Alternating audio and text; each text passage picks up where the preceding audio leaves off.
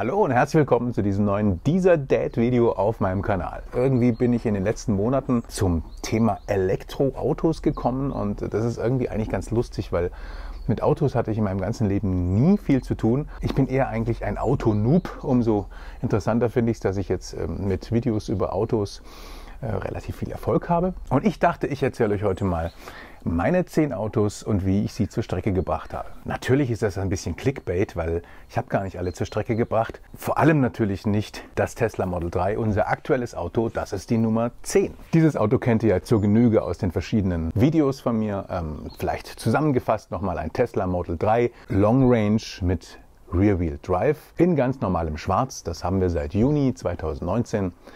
Es gehört meiner Frau und der Bank und wir sind damit sehr, sehr, sehr, sehr zufrieden. Auch die beiden Autos, die wir davor hatten, die kennt ihr schon ganz gut. Die Nummer 9, unser Volvo V70 Baujahr 97, den habe ich 2006 für 6.750 Euro gekauft. Er war Baujahr 97, also damals neun Jahre alt, hatte 80.000 Kilometer, ziemlich wenig für dieses Alter. Und das war ein richtiges Schnäppchen. Ich war damals in einer Theaterproduktion in Würzburg engagiert und bin zehn Wochen lang immer hin und her gefahren und habe erst überlegt, ob ich mir dafür einen Leihwagen hole, weil es ist eine Strecke, die man wirklich nicht mit der Bahn zuverlässig machen kann, schon gar nicht zweimal die Woche. Und habe dann beschlossen, mir dieses günstige Superauto zu kaufen und es danach wieder zu verkaufen. Und das habe ich dann nie gemacht, weil dafür war dieses Auto einfach zu gut. Ja, wie ihr bestimmt gesehen habt, ist es im Herbst 2018 leider von uns gegangen. Es fährt jetzt irgendwo in Osteuropa herum und wird vermutlich noch ein paar Jahre haben, aber die Reparaturen, die anstanden mit Lenkmanschetten und Spurstangen und so weiter, waren für jemanden wie mich, der Klavier spielen kann, aber keine Autos reparieren, äh, nicht mehr zu finanzieren und insofern ist das das Ende unseres schönen V70 gewesen. Die Nummer 8 meiner Autos ist unser Renault Kangoo 1,216V, der ebenfalls im März diesen Jahres äh, mit einem Getriebeschaden leider ausgeschieden ist. Ihr seht hier die letzten Aufnahmen, die ich von diesem Auto habe. Den haben wir 2004 gekauft, an Oscars zweitem Geburtstag. Damals für 12.000 Euro wobei uns vom vorigen, das war der Renault Kangoo 1,4 RT, den konnten wir in Zahlung geben. 5000 Euro haben sie uns dafür noch gegeben. Damit hat uns der Renault Kangoo 1,216V nur 7000 Euro gekostet. Ich habe übrigens mal nachgerechnet, weil ich alle ähm, Rechnungen noch habe von der Werkstatt. Wir haben in diesen 15 Jahren, die wir ihn besessen haben, insgesamt 10.000 Euro für Service, Reparaturen und Reifen und Reifenwechsel ausgegeben. Das fand ich mal ganz interessant, einfach sich klar zu machen, was man so braucht an Geld, wenn man ein Auto hat. Ja, die Nummer 7 habe ich damit auch schon erwähnt. Das war der eintürige Renault Kangoo. Ich weiß nicht, ob ihr euch an diese Werbung erinnert, als der zweitürige dann kam.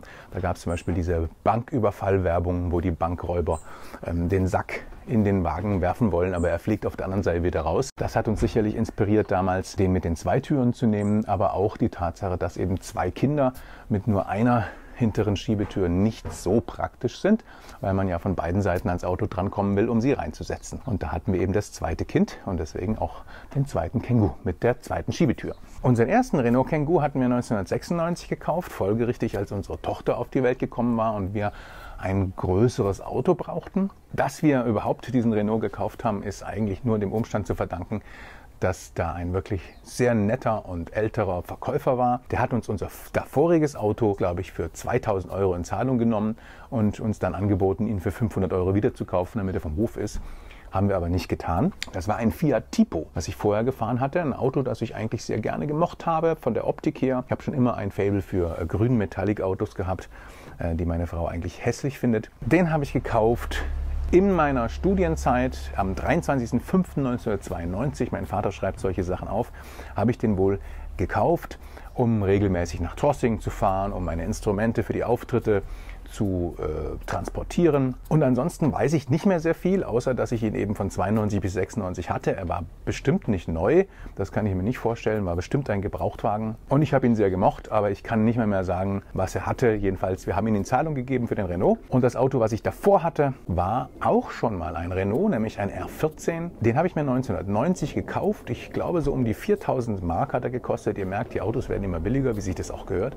Den habe ich zwei, drei Jahre gefahren, den R14. 14, ein gelbes Auto. Es war schon eine rechte Schrottkarre. Also ich habe am Anfang nur sehr, sehr alte Autos gekauft. Das vierte Auto, das ich hier beschreiben möchte, war ein R4. Im Zivildienst bin ich mit dem sehr viel rumgefahren. Ich habe 1998, 99 Zivildienst gemacht, habe in der Altenpflege gearbeitet, mobil. Und da sind wir immer morgens um sechs, halb sieben losgefahren und so ein R4, es dauert so 10, 15 Kilometer, bis die Heizung warm ist, bis die Scheiben nicht mehr beschlagen sind. Schaltung für alle etwas Jüngeren, das war diese Handschaltung. Und das ist tatsächlich das einzige dieser zehn Autos, den ich ganz persönlich zerlegt habe. Meine Zivi-Kollegen haben es mir damals gedankt, weil wir haben diese Autos gehasst und die Schwestern durften schon längst mit Polos und Golfs rumfahren und wir mussten immer mit diesen alten stinkigen R4s rumfahren. Und ich habe bei einem sehr, sehr regnerischen Tag mit schlechter Sicht aus den Scheiben an einer undurchsichtigen Ampelschaltung äh, habe ich leider vergessen zu bremsen und bin meinem Vordermann voll reingefahren und habe dann ziemlich gestaunt, wie man mit 10, 15 Stundenkilometern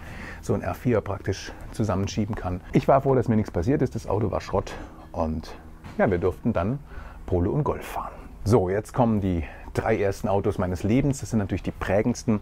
Und die Nummer drei war ein VW Passat den habe ich im Juli 1987 gekauft. Ihr seht ihn hier auf diesem Bild mit meiner Oma. Der hat 2000 Mark gekostet. Ich habe am Anfang halt erstmal lernen müssen, wie so Autos funktionieren. Und ich habe dann mal mit meinem Zivi-Kollegen darüber gesprochen. Ich habe gehört, man muss da so immer mal wieder nach dem Ölstand schauen. Und ich schaue immer nach diesem Ölstand, aber ich finde nichts. Ich sehe nichts da, wenn ich dieses Stäbchen rausziehe. Und dann hat er gesagt, lass mal gucken. Ja klar, dass du nichts siehst. In diesem Motor ist praktisch kein Öl mehr drin. Das heißt, ich habe einfach, ähm, tja, dieses Auto wahrscheinlich auf dem Gewissen. Ich wollte dann mit meiner damaligen Freundin in den Sommerurlaub nach Frankreich fahren und kurz hinter der französischen Grenze macht es auf der Autobahn Buff. Und ich habe damals die französischen Wörter Depannage und Demolier gelernt. Und ja, er wurde noch vor Ort und Stelle leider verschrottet. Damit kommen wir zu meinem zweiten Auto und um ehrlich zu sein, ist es mein erstes wirkliches Auto gewesen. Und das habe ich im Mai 86 bekommen mit 19 Jahren. 1000 Mark hat es gekostet. Die hatte ich von meiner Oma und es war ein VW Käfer. Baujahr 68. Der war kaum jünger als ich. Und mit dem habe ich viel gelernt. Also als ich zum ersten Mal eine größere Autobahntour gemacht habe mit einem Freund zusammen, dann habe ich gedacht, das Auto ist aber auch wirklich laut, bis ich dann drauf kam, dass ich immer noch im dritten Gang fuhr, ne? also auf der Autobahn so nach 20, 30 Kilometer, hatte vergessen zu schalten. Als ich zum ersten Mal tanken gefahren bin, weiß ich auch noch. Da habe ich nämlich irgendwie, bin ich ums Auto rumgelaufen, habe den Tank gesucht und der Tank ähm, ist halt beim VW Käfer damals vorne gewesen. Interessant übrigens, mein erstes richtiges Auto und mein heutiges richtiges Auto haben beide schon einen Frank gehabt. Ja, der VW Käfer war ungefähr ein Jahr bei mir und ist dann daran gestorben, dass der Tank durchgerostet war. Also ich meine, er war schon sehr alt. Ich habe ihn auch nicht gut behandelt, aber für das Tankdurchrosten konnte ich nichts und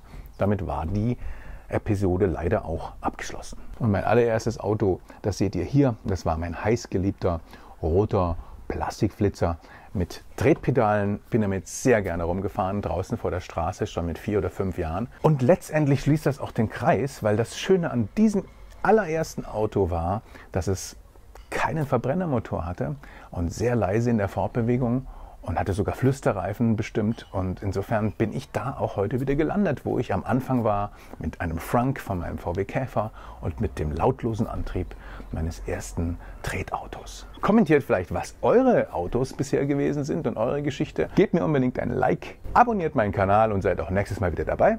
Euer dieser Dad.